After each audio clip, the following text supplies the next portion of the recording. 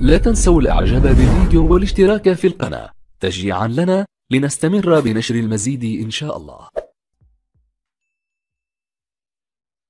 this video from a bathroom because uh, it's the only room with the door I can lock and and the door to my room I put because I can't lock the door to my room there's no key so uh, I'm in a villa I'm, I'm a hostage and uh, this villa has been converted into a jail all the windows are barred shut I can't open any window uh, there's five policemen outside and two policewomen inside the house and uh, I can't even go on date and I don't know what my conditions will be like after I'm released um, so basically, I'm a hostage.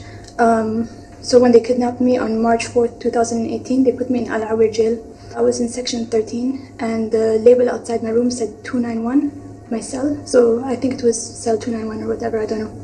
And they moved me here on May 27, and uh, I've been here ever since. So more than a year now, I've been by myself, solitary confinement, um, no access to medical help. Um, no trial, no charge. They want me to break and they want propaganda from me. They wanted me to do a video and say that I'm here happily and voluntarily and I refused, you know. They wanted me to say a lot of things and I refused. And um, because I wouldn't cooperate with them, because I, I didn't let them break me, I'm being punished. And um, I don't know what can happen to me and how long this will last and if they decide to release me, like how my life will be. But um, every day I am worried about my safety and my life. Um, don't really know if I'm going to survive the situation. Uh, the police threatened me that they would take me outside and shoot me if I didn't cooperate with them. They also threatened me that I'll be in prison my whole life and I'll never see the sun again. Uh, yeah, I'm, I'm really uh, reaching a point now where I'm just getting so tired of everything.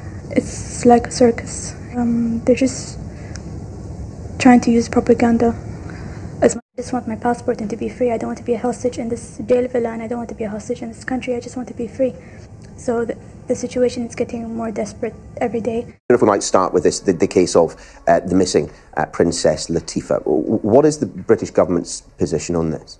Well, look, you can only watch the footage that you've just shown, Niall, and uh, uh see that there's very distressing uh, uh, pictures, a very difficult case, um, and I, I, think it is concerning. we always raise human rights issues with all of our لا تنسوا الاعجاب بالفيديو والاشتراك في القناة تشجيعا لنا لنستمر بنشر المزيد ان شاء الله